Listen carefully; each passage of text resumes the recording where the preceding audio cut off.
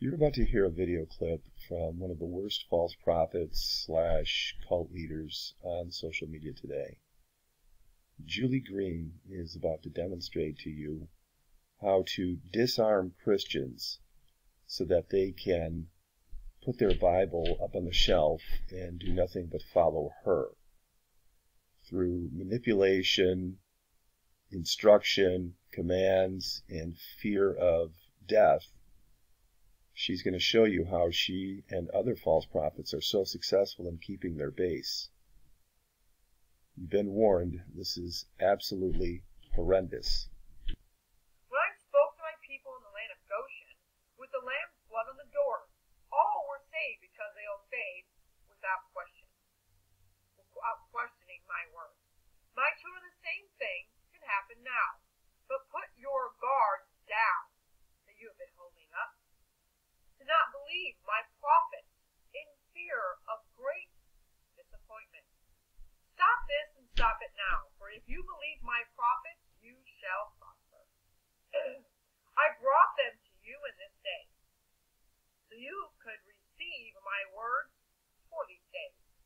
You are in to keep you encouraged, but to help you stand in the midst of such great darkness. All my prophets for you have endured struggles and hard times to deliver these words. So pray for those who are standing for you or for me. Pray for them. All. They are generals and they are in the front lines, on the front lines of this battle. I brought them to you. So stand with them now. Do you hear the blowing of the shofars? Now, I've taken the liberty to put a list together of everything that woman just said in her short video clip. Let's take a look. Uh, Julie Green's manipulating tactics. Number one, obey without question. She literally says this. But then she uh, uses a tactic that's been very successful for many cult leaders, and that is to associate. Describe a situation where other followers of God were obedient and it worked out well for them. She's talking about the Israelites at Goshen. And then associate it with you know, current situation. I'm the prophet now. Back then they did this, but listen to me now and obey without question. And uh, she's going to lead you through the darkness, uh, the power of God. So uh, many people who were um, questioning her, uh, she's trying to disarm them. Number two, she says, uh, put your guards down. She literally says this. Never mind what the Bible says about guarding your faith in many verses. She looks at you with a stern look and tells you to put your guard down. You know, the guard that you've been holding up. Uh, some of you who weren't believing the prophets, put your guards down that you've been holding up. Now, again, what more can you say about this? This is right out of Cult Teaching 101. Number three, she barks a command at you stop it right now. Because even maybe after you heard her say this, well, I don't know, people were thinking, and she says, hey, stop it right now. Here's that parental leader, mommy figure, stop it right now as though you were a five year old child. Sadly, this works.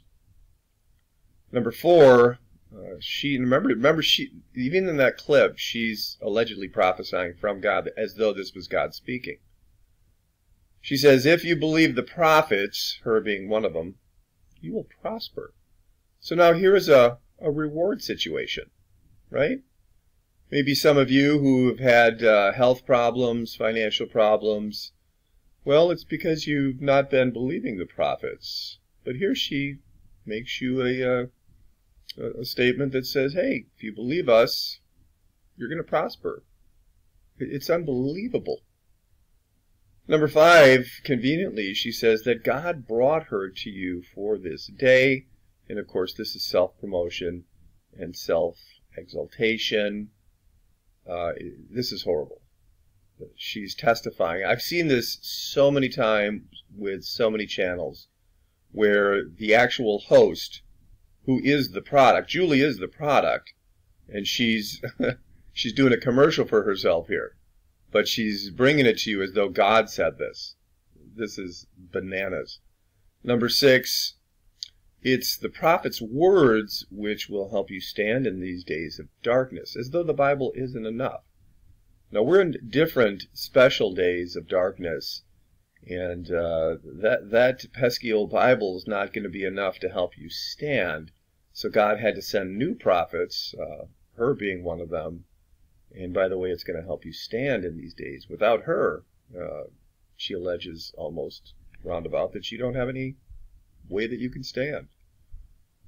Number seven, these poor prophets have endured struggles and hard times in order to bring you these new words from God. She says this.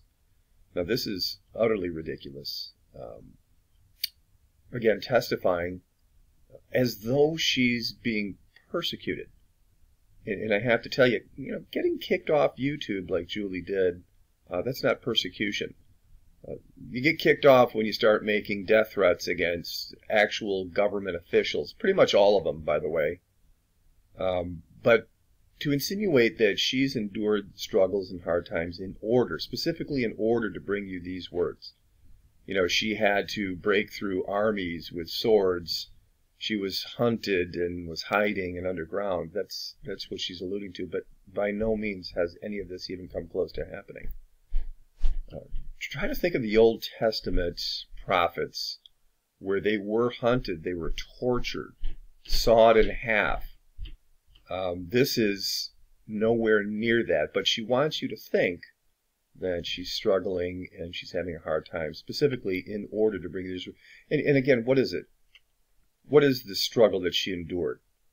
Well, my eyes hurt from looking at the computer and I'm suffering, or, you know, I had to edit this video 16 times because, you know, this and that, and it was really hard, and, and my chair is lumpy Oh, the hard times, the struggles, just to bring my people these valuable words.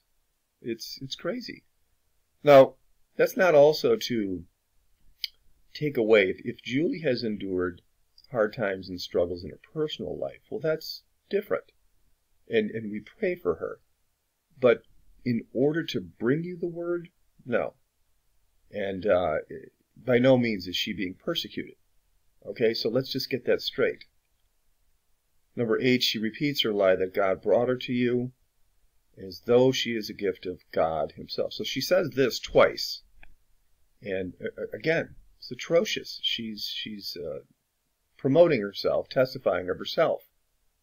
It's crazy. Number nine, she claims she's a general on the front lines. This is absurd. This woman is so absurd. A general on the front lines. By the way, she has no idea how I, I would call this part blasphemous because if you pay attention in the rest of the world, Christian persecution is at an all time high. Right now in North Korea, in China, in the Middle East, in Nigeria, and many other places, Christians are being hunted. They're being slaughtered, hacked to death with machetes uh, women and children raped, uh, enslaved, the worst imaginable torture for their faith. Now, this little princess over here in America, as far as I know, she's not been hunted or tortured or any of the things that I've named. And then to put herself in a position of general, talk about humility or lack of. This woman is completely disconnected from reality. But I truly have no doubt that she really believes that she's a general, while she leads the rich Americans to get Trump back in office and kill all the Democrats. That's what she's a general of lying. Unbelievable. Please think about this. And then, of course, she wraps this clip up with saying, blow the shofar, because we all always want to bring an image of old school Old Testament shofars, the victory, the victory, the victory. Now, by all means, go back and watch the video clip, and you will clearly see that I've embellished nothing. She said all of this in about a minute and a half, two minutes. All were saved because they obeyed without question.